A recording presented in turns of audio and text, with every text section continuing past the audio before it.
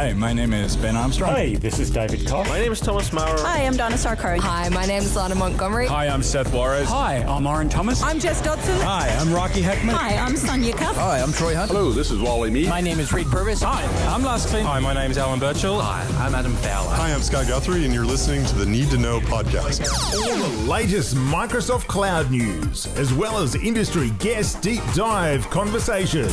It's a Need to Know podcast. All thanks to the CIAOPS patron community. The Need to Know podcast. Catch us on Twitter and Facebook, N2K Podcast, and online at ciaops.podbean.com. Welcome along to the Need to Know podcast. My name is Robert Crane, and you join me for episode 303 in May 2023. So, if you do want to reach out to me after the fact or have any suggestions or feedback, please by all means send me an email, director at ciaops.com. Don't forget to have a look at the video companion of this podcast at Director CIA. You'll see everything that I'm talking about uh, on the screen here. Uh, on the Twitters at Director CIA, also uh, on Mastodon, so twit.social forward slash Director CIA.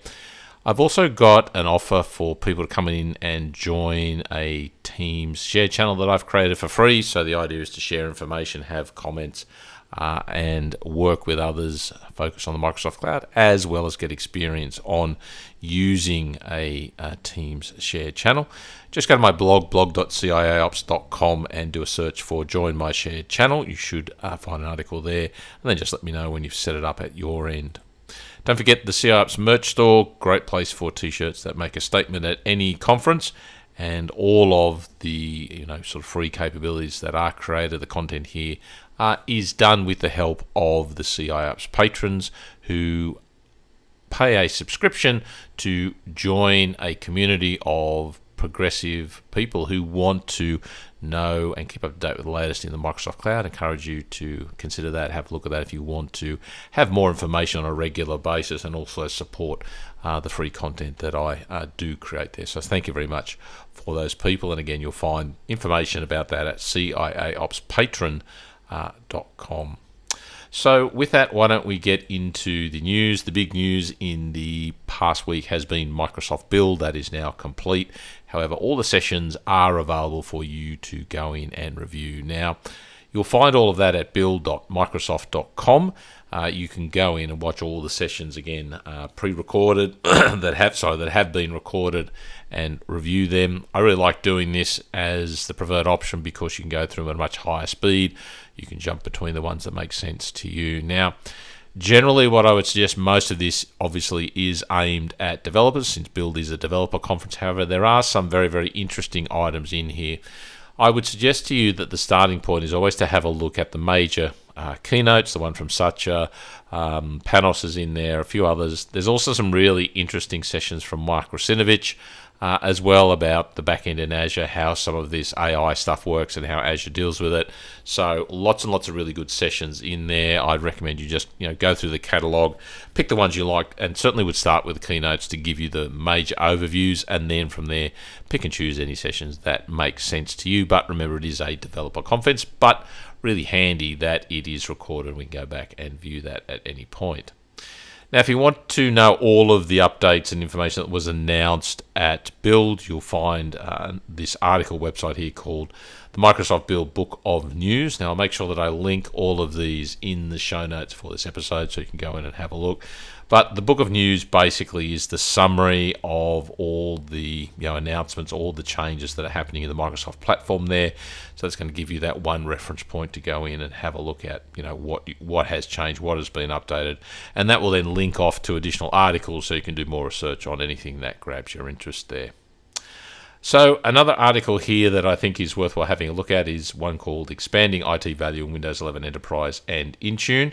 So, there's a couple of items in here which I'll dive to, dive into a little bit more detail. One of them is Windows 365 boot, allowing you to boot directly to you know your cloud PC. Um, integration enhancements with uh, things like Bluetooth and VPN. Uh, organizational messages, if you're interested in those as well, they will be available at the end of May.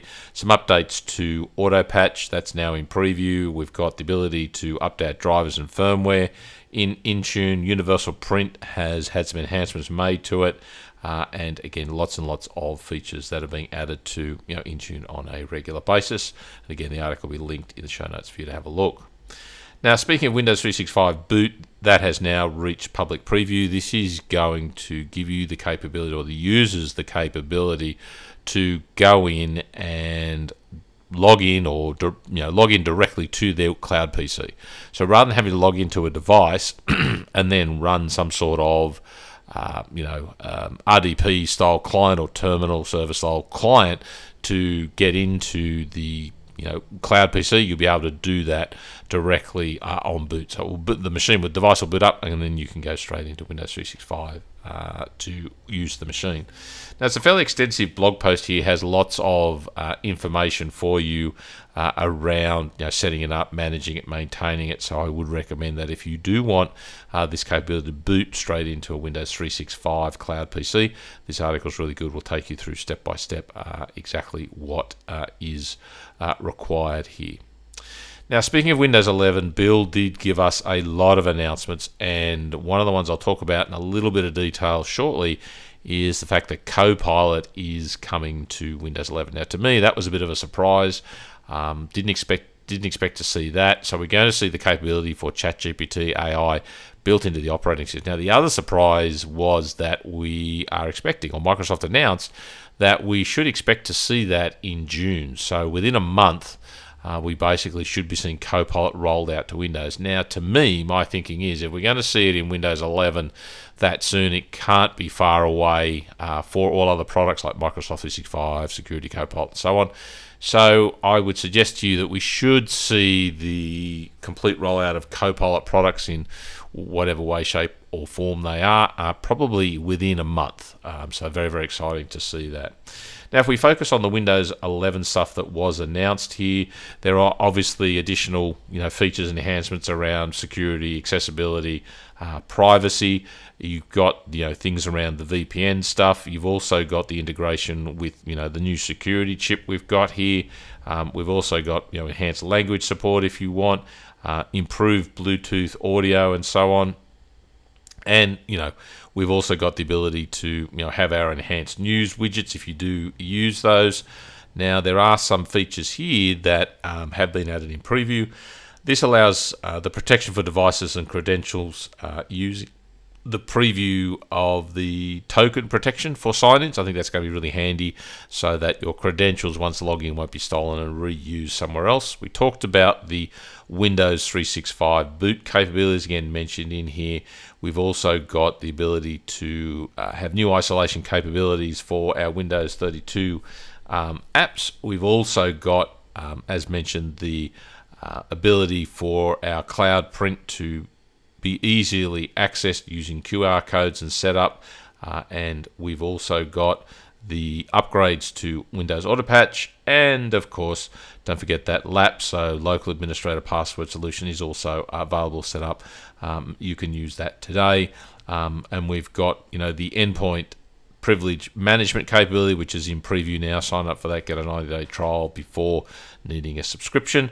So, again, lots and lots of uh, capabilities in there, including uh, the ability to integration with Copilot, which I'll talk about shortly.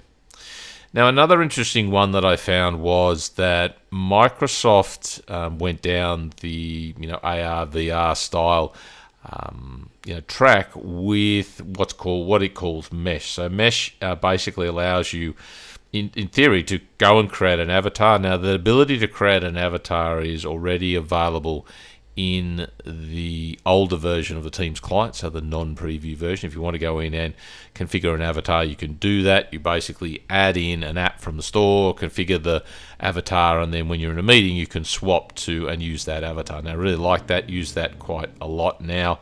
A great way to have a persona rather than having the camera on all the time.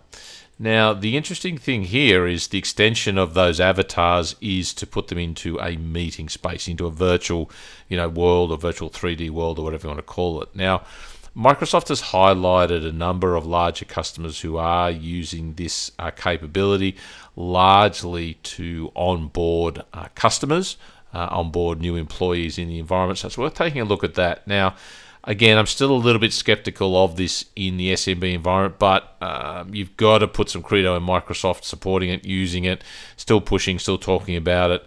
It would seem from their discussions that the virtual 3D world stuff is not too far away. Uh, so again, keep your eye on that. It's interesting to read the Microsoft, you know, why it's thinking, why this has had value. Will this have value in SMB? Mm, we'll have to wait and see. I'd like to play with it firstly to understand it, uh, but you can certainly have a look and you can certainly see the value in large enterprises where you know new employees onboarding can come into this you know, virtual space, virtual lobby, virtual training uh, environment with others. Um, I'm not like I said, 100% sold on it for SMB, but certainly would recommend that you keep an eye on it. I don't think it is far away from uh, ending up in our environments. But if you do want an avatar when you are on your Teams meetings, that is available today. Like I said, add the avatars app into your Teams, customize an avatar, uh, and then you can use that inside your meetings. Now, the other one that I called out was the integration of Copilot into uh, Windows 11. So this one was a little bit unexpected, I must admit. It makes sense, don't get me wrong, but the idea here is we sort of weren't expecting them to bring Copilot into Windows 11. As I said, the interesting thing is they're also talking about bringing this uh, to Windows 11 in the June timeframe, so they're not far away at all. So the idea here is, and the Microsoft do have some good videos that help you understand the value statement of putting Copilot in Windows, and an example would be is let's say you want to change your uh, desktop from light mode to dark mode. So rather than digging through settings and finding all that, you can just go to Copilot on the right hand side and sort of say, you know, change my environment to dark mode. And it will not only find that, do that for you so that you don't have to go in and you know, dig through settings or click this, follow this. So uh, very interesting uh, approach here. I think it's going to have a lot of benefit. I really want to firstly get my hands on it and see what it's like in reality, how well it works, how well it uh, answers, or how it deals with some of the questions. I think it would do it fairly well. The other thing I'm interested in once I've got my mind around it and see it for myself is okay how does a normal user so you know how do my parents for example deal with the copilot there is it something they're going to use and like and rely on I certainly seem to think that it will be once they become familiar with it. So there's still this uh, question around, you know, what's the benefit of AI? We hear a lot of talk, you know, we're a bit scared of it potentially, but I think, again, integrating into Windows 11 will go a long way to proving the value of AI, let's call it, uh, to users and get them to use it more and more and more. So I can also see this potentially as a play by Microsoft to you know, uh, offset, you know, Google search potentially. So if you can use Copilot to configure your local environment, uh, what's to stop you from using Copilot to use, you know, to do it as a search engine as well? So rather than going into a browser and going to Google and doing a search, um, I think I'll be very interested to see whether that converts, whether people start using Copilot once they're comfortable with it, for internet searching as well as you know configuring, setting up, managing their own machine. So I sort of see the play there. I'd be very interested to see how that's taken on board given what results Copilot is producing and how it's simplifying things, I think, for users rather than giving them a list of uh, links, random links to uh, go and click on many of those, which are either paid links or malicious links these days, it seems. Uh, I think this, again, has a lot of positivity around it, but we'll need to wait and see. Now, another thing that Microsoft announces part of this uh, new Windows 11 capability is what's called Dev Home. So if you do do some development on your Windows device like I do around PowerShell, this is going to allow you to set that up, configure it, connect to your uh, repos. uh, excuse me, repos uh, in uh, the environment uh, and set those up and configure your Windows machine to be a development box without too much hassle. So the aim here is obviously for Microsoft to get developers to use Windows as their development box. The idea here is that we're going to install a free app, so you can search the store for Dev Home, install it on your environment, connect it up to your repositories and whatnot, and then start using it as your sort of hub for development. All sorts of development uh, is done in there. You get a nice dashboard overview, push pull requests, all that sort of stuff.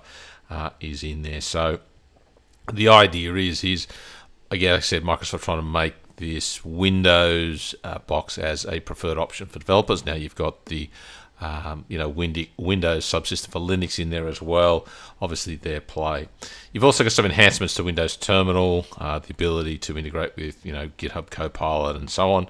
Uh, if you do use Windows Terminal, love it. It's got some additional features like the ability to break it out into multiple windows if you want. Um, also, some development on uh, Windows on ARM for you as well. Uh, lots of links there uh, that have been added. So, certainly recommend you go in and have a look at this article about the you know the new capabilities, what's coming to Windows. But I think the most exciting one and the most unexpected one was certainly Copilot for Windows 11, which we expect to see hopefully uh, in June, so not far away.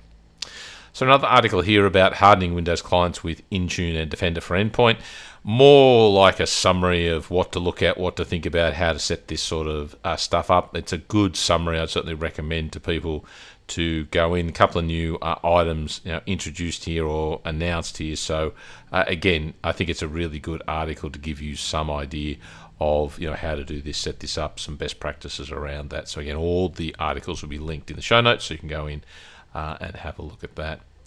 Now, another one here I'll call it is cyber signals, shifting tactics, fuel surge in business email compromise. I think that this is a bit of a, a very high level look at you know, business email compromise, but the big takeaway in here is the link to the fourth edition of the Cyber Signals that Microsoft produced a nice uh, PDF high level overview. Probably more targeted management or you know people who run organisations rather than technical people.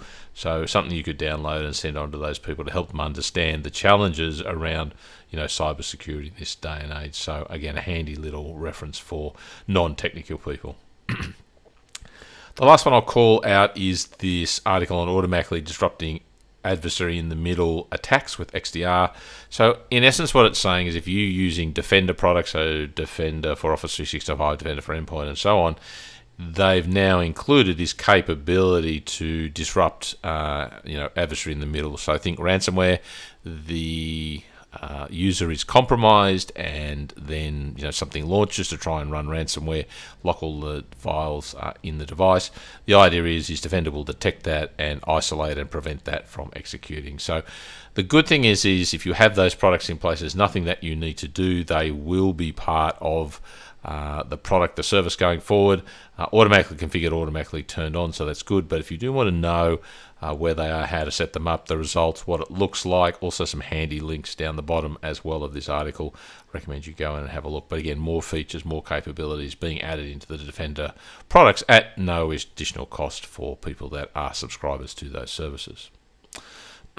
all right, with all that said, let us turn to a discussion around uh, Microsoft's new package manager, relatively new. So this is something called Winget. So if you go to the command prompt and you type Winget, you will get a range of information about the Windows package manager. Okay, now the good thing is is that Winget is included in all Windows 11 devices. So there's a command line interface that is built in to Windows 11. Now, if you have a Windows 10 device, you can go into the Microsoft uh, store on your device and do a search for Winget, and it will come up with uh, an option here that is basically the app installer. So if we click on this, you'll see that there's an app installer from Microsoft Corporation. Download that onto the device, um, and it will then basically put Winget in the background uh, for you if you want to do that. So if you don't have Winget, you can certainly get it directly from the Microsoft Store.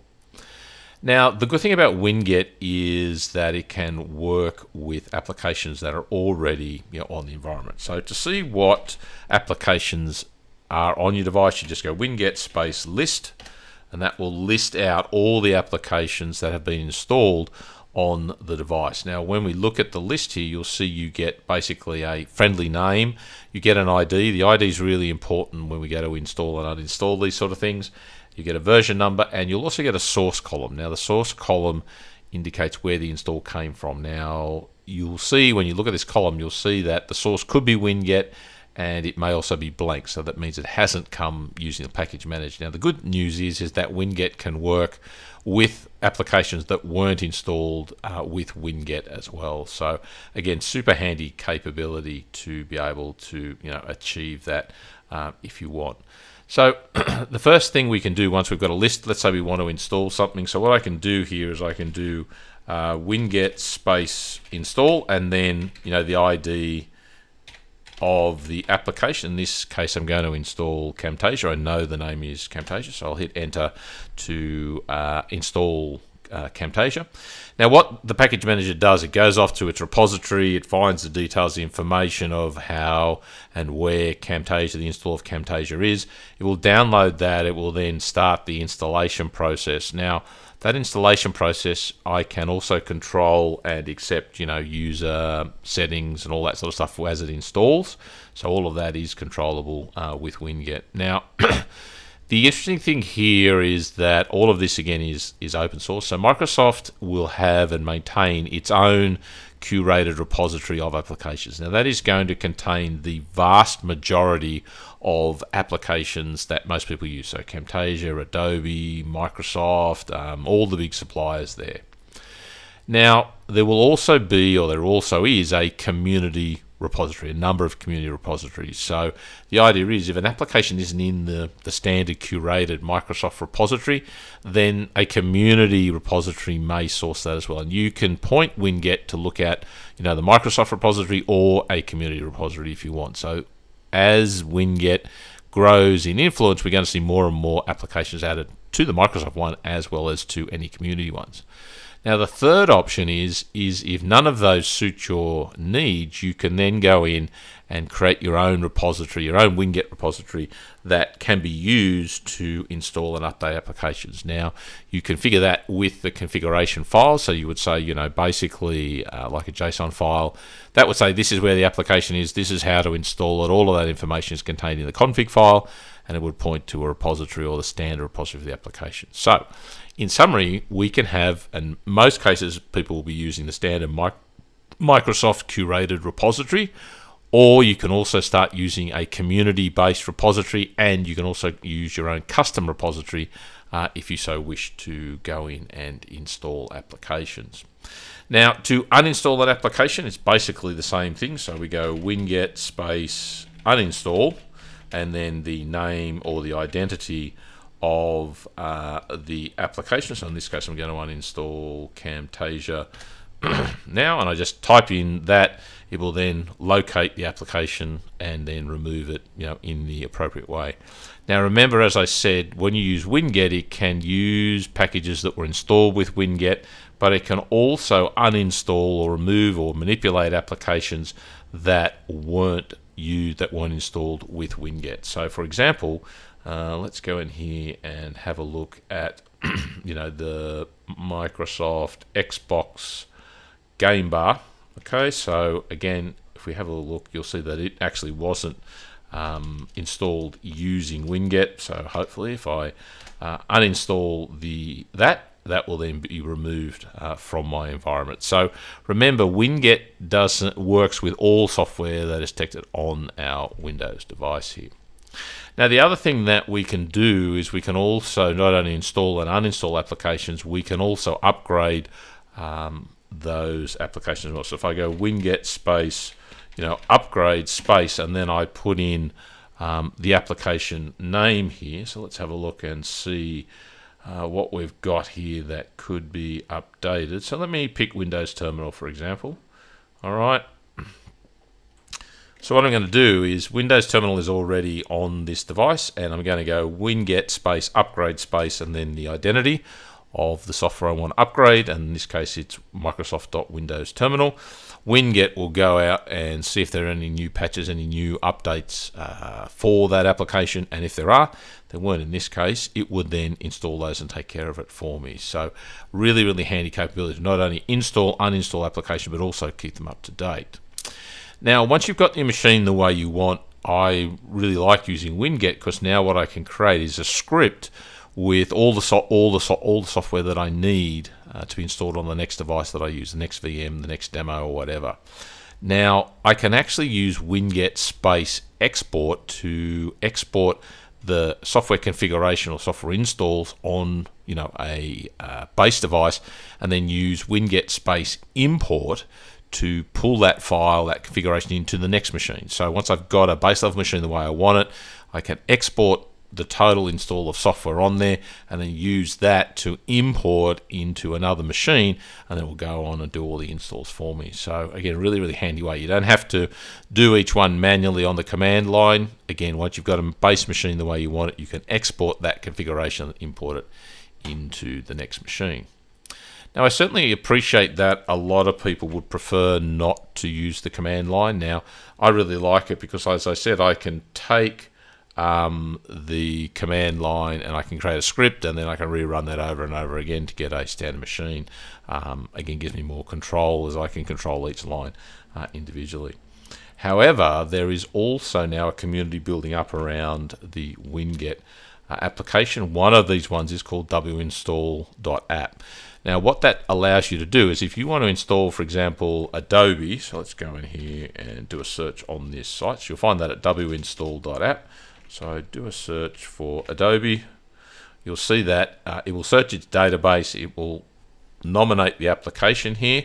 All right, and then basically what I do is I add the desired application uh, that I want. And I can add multiple applications here, and then it will allow me to generate a script to install that. So you don't have to necessarily generate or, or do low-level uh, command line to work out what's going on here. You can use tools like winstall um, .app to create the required options in here. So this is going to give me a script with the appropriate command line options to do an install.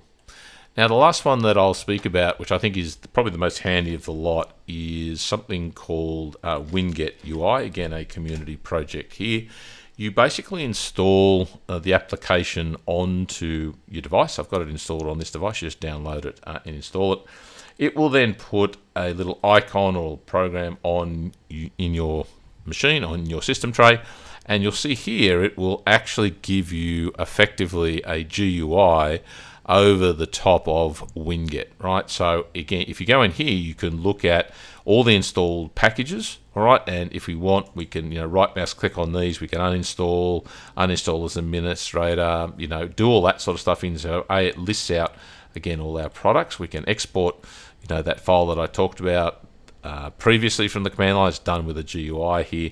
If there are any updates to any of the package, they will appear in the updates tab here, and you just select them and update them, right? So uh, again, really, really handy way to make sure your machines are up to date. Because it's running in the system tray, it will tell you whether any updates uh, are required, and then you can go in uh, and uh, deal with it as well. So think of Winget uh, UI as you know a management uh, interface, you know, over the top or dashboard over the top of Winget. So Winget is running underneath the covers here, and Winget UI is a solution that somebody's written to sit over the top of it. Now, again, Winget UI, fantastic interface, really well written. Uh, encourage you to go in.